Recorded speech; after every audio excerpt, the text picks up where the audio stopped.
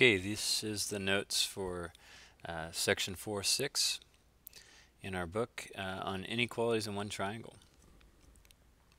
To start you off, uh, got a question for you. Where do you buy a ruler that's three feet long? And hopefully your answer is at a yard sale. Okay. So here's a property. Um, if A equals B plus C and C is greater than 0, then A is going to be greater than B. So if you come up with some examples here, just plug in some numbers. Um, we know that, well, let's say x is equal to 5 plus 4. So if x is equal to 5 plus 4, then x is 9. And we can say, well, we know that x has got to be bigger than 5. Right? And that's, that's what this inequality is saying. It's something that should be pretty obvious. Uh, plug in some numbers and and it's just a statement that, that we're going to need for the next corollary. Uh, this corollary is a corollary to the triangle exterior angle theorem. The triangle exterior angle theorem, let me remind you what that says, uh, that if you have an exterior angle like this, this angle 1 here, that it's equal to the sum of um, the two remote interior angles.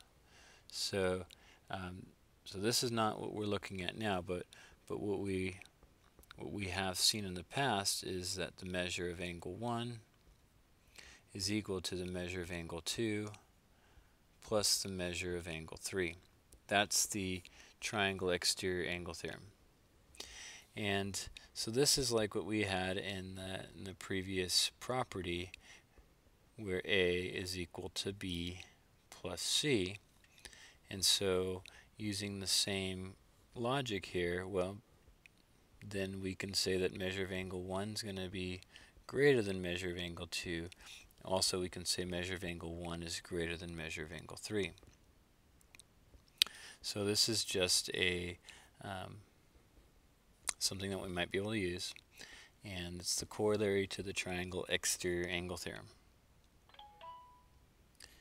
So here's an example um, asking why is measure of angle 5 greater than the measure of angle C? Well, the measure of angle 5, that's an exterior angle, and um, the measure of angle 3, ang angle C, sorry, is a, um, a remote interior angle. And we know that the measure of angle, angle 5 is equal to the measure of angle C plus the measure of angle 3 by the exterior angle theorem. And if we want to use this corollary to the triangle exterior angle theorem, we get that the measure of angle 5 is greater than the measure of angle C.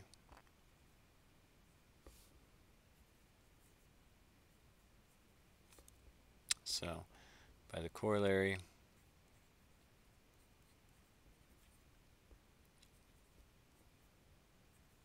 to the triangle exterior angle theorem.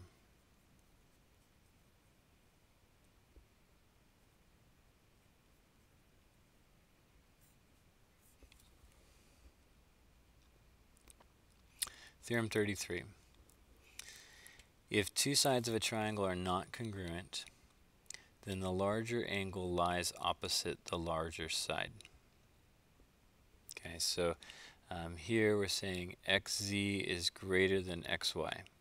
So the length of xz, uh, let me put in some numbers here. Say the length of xz is 100, and that's greater than the length of xy. Let's say that's 80 then the angle across from 100, which would be angle y, has got to be bigger than the measure the measure of the angle across from the 80, which would be measure measure of angle z. Um, that's what it's stated. Let me show you an example of this.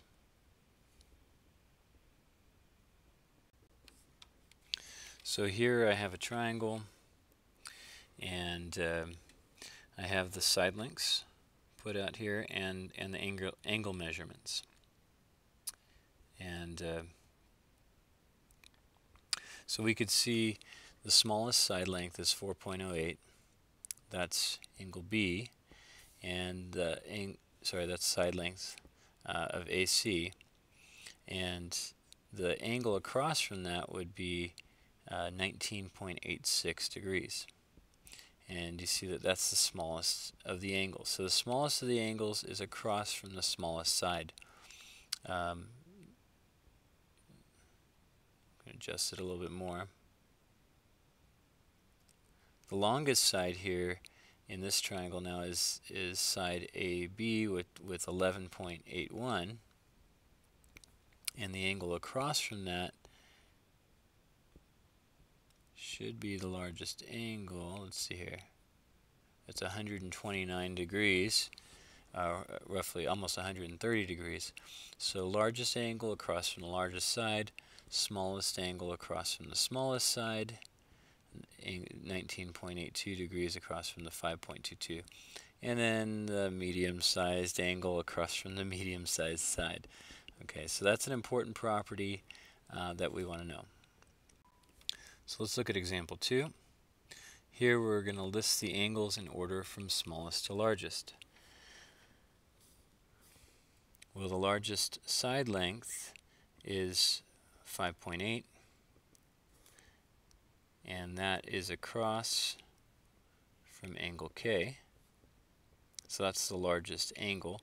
The smallest side length is 2.7 and that's going to be across from your smallest angle. So if we're listing this from smallest to largest,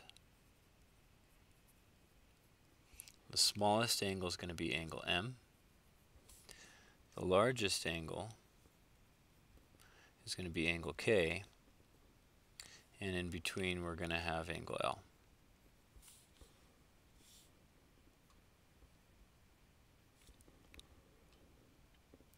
Here's another theorem.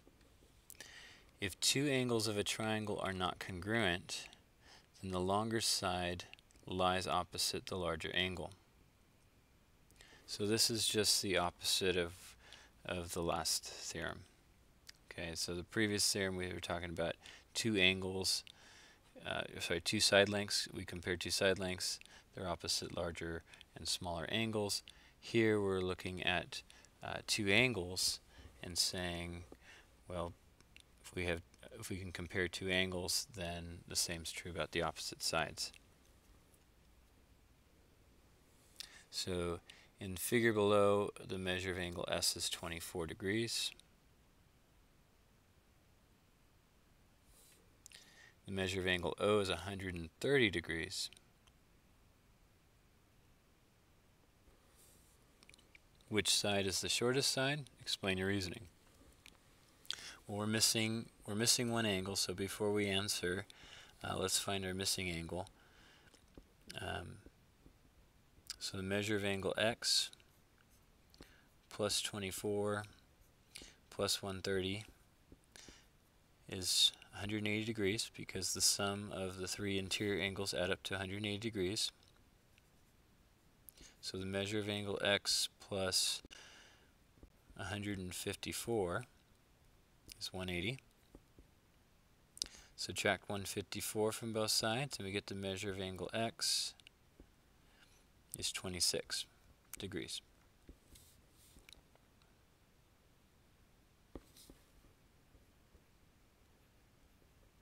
So we know S is the smallest angle, and the smallest angle is opposite the smallest side. So angle S is opposite side OX. And so the shortest side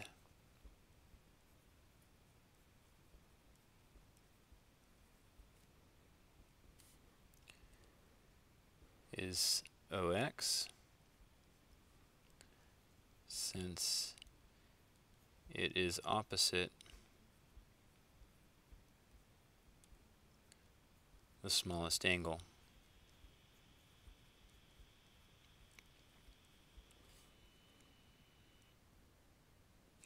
Next we have the triangle inequality theorem.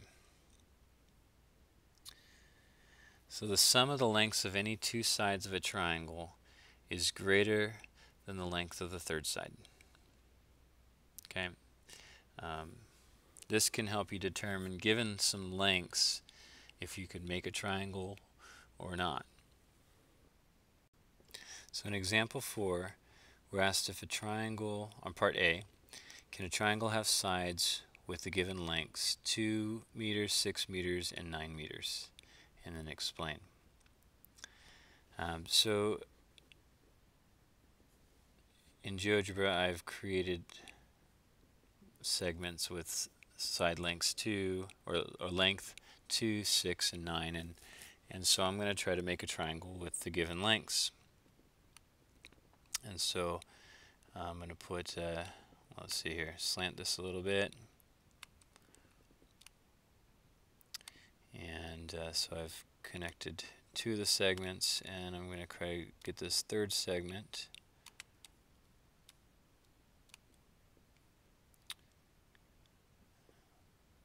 I can't change the lengths and so it's a little too short there. Uh, well maybe if I bring this down a little bit still not. Yeah, let's move this over here. Mm, so there's something wrong here. Right? There's no way to connect these lengths because that one's too long. You know, nine is too long. Six plus two doesn't even reach the nine, and so that's that's what our triangle inequality is saying. Um, the two smaller sides have to be bigger than the largest side for this thing to work. And so we're going to say no here. Since our two smaller sides,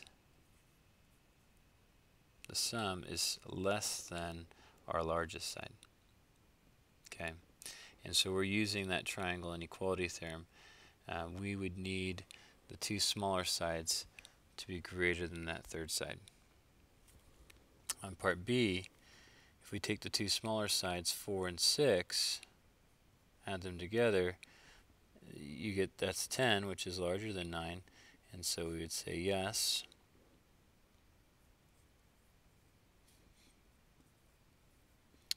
by the triangle inequality theorem.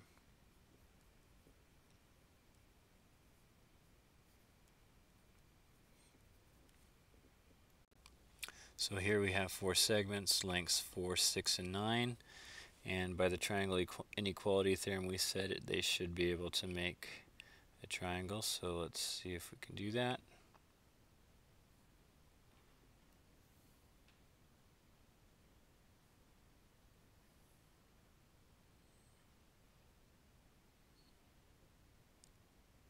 And you can see that we can roughly get that to work there.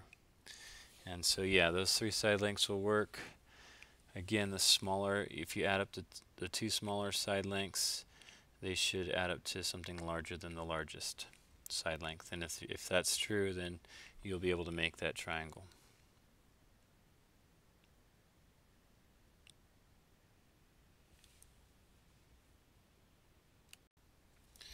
Right, example 5.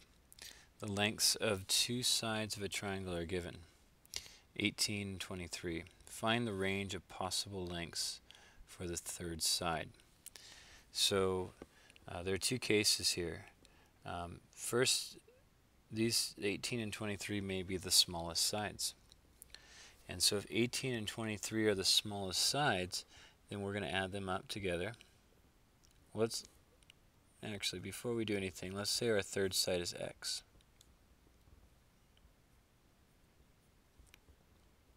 Okay, x meters. So if 18 and 23 are smaller than x, then we would want 18 plus 23 to be larger than x. 18 plus 23 is 41. So x has got to be smaller than 41. That third side has to be smaller than 41. So that's the case when x is the largest side. Now let's say that x is not the largest size, or the largest side length. then the largest side length would be 23. And then we'd say, well, 18 plus x has got to be greater than 23. And so it's solving for, for x, we get x has got to be greater than 23 minus 18, which is 5. So this gives us the limits on the third side. x has got to be bigger than 5 and at the same time smaller than 41.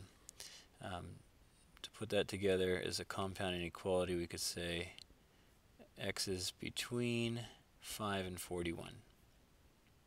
Greater than 5 and at the same time less than 41. Pick anything in between, 5.1, uh, 40.9, 10, 21, all those would work for x, um, as long as it's between those two numbers. Um, let's go to part B.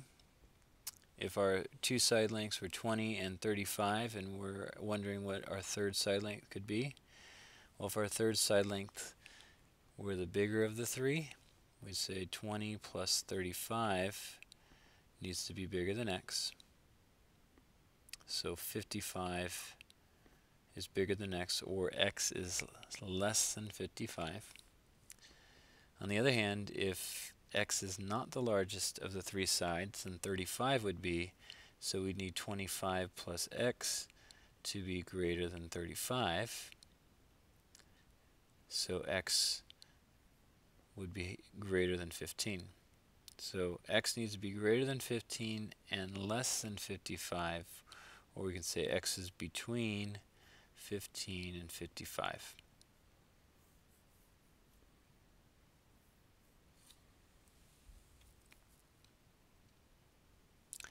Determine which segment is the shortest in each diagram.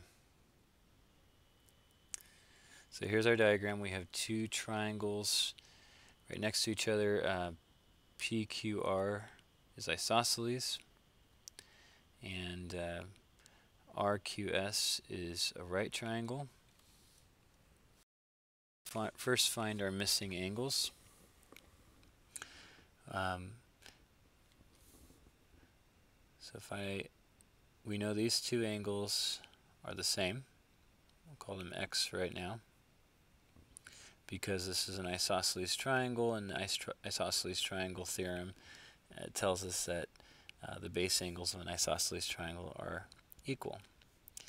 So, um, well, x plus x plus 30 is 180. So 2x is equal to 150. So x is 75. So I'm going to replace, uh, I'm going to erase those x's and put 75 in.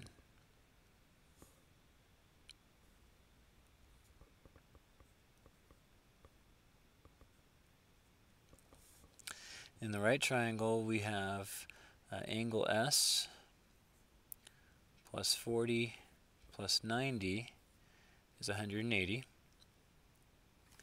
and uh, 40 plus 90 is 130 subtract 130 and we get angle S is 50 degrees.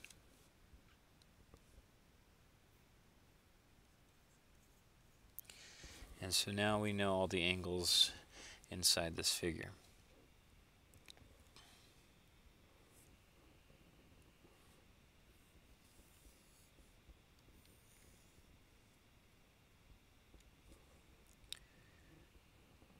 So which side length is the shortest? And uh, the angles are going to help us with that. Uh, the smallest angle is 30 degrees out of all the angles. So does that mean that QR is the shortest length? Well, be careful there. If we go back to the theorem that, that we we're looking at, we're given angles, so theorem 33, given angles, um, which one's larger than the other, depends on which side length is larger than the other, and um, notice that's only talking about one triangle. It's not comparing two triangles together. And so th that's what's happening here. We have two separate triangles. And so just because we have 30 degrees in one triangle, um, and that and that angle smaller than the 40 de or the 40 degrees in the other triangle, that we're dealing with smaller sides. Let me. Uh, so here I have two triangles, and um, I've measured their side lengths and I've measured their angles. And um, so I'm going to arrange it so angle C is the smallest angle. But you can see the opposite side to, to angle C is 5.77 and that's not the smallest side length. Um, the smallest side length is the 3.75 which is opposite a 40 degree angle. And the reason that happens is they're, they're in separate triangles and um, and so we just got to work with that. What we can do here, let me just so in our in our in the triangle on the left hand side, um, the smallest angle is 29.54, and so we can say that 5.77 is the smallest side length on the triangle on the, on the left-hand side. And then if we look separately at the triangle on the right-hand side, the smallest angle there is our 40.38 right here. And so the smallest side length of that triangle is going to be the 3.75.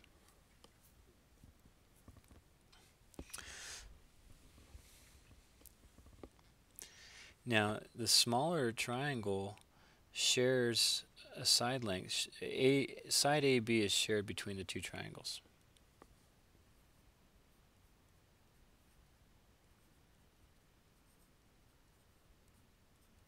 Right? And because it's shared, um, and it's it's not the smallest side length in the smaller triangle. And um, and so it's pretty obvious that that 3.75 is is the smallest but we're gonna have to use some of this logic when we don't know any of the side lengths. So let's get to the example that that we're looking at here. Here we know the angles but we don't know the side lengths and so we need some we need to know which segment shortest and we need some logic pointing to why it's the shortest side so on the triangle on the left-hand side, angle P is the smallest, and so uh, QR is the smallest side in triangle QPR. So I'm going to state that. So QR is the smallest side in triangle PQR. So separate the triangles first. Then look at the second triangle. In the second tri triangle, the smallest angle is 40 degrees, so the shortest side is RS.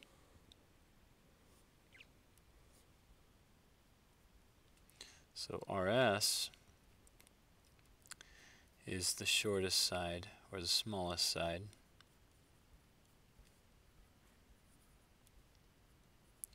in triangle QRS. So which one's smaller, QR or QS? Is there a way we can compare them? Well, QR is in both triangles. Um, if we just continue to focus in on the smaller triangle, QS is the smallest triangle, so sorry, the smallest side in triangle QRS. What can we say about QR? QR would, it's not the largest side, it's opposite 50 degrees. So QR is greater than RS in triangle QRS since the, the angles opposite them in that one triangle, so we're only looking at the, the triangle on the right hand side, um, since 50 degrees is greater than 40 degrees. And so that's that's our comparison. When we're looking at which one's bigger, QR or S, we just look at the triangle on the right hand side because that triangle has both of them in it and then that, that establishes, okay, we know QR is greater than RS, so out of our whole diagram, RS has got to be the smallest side.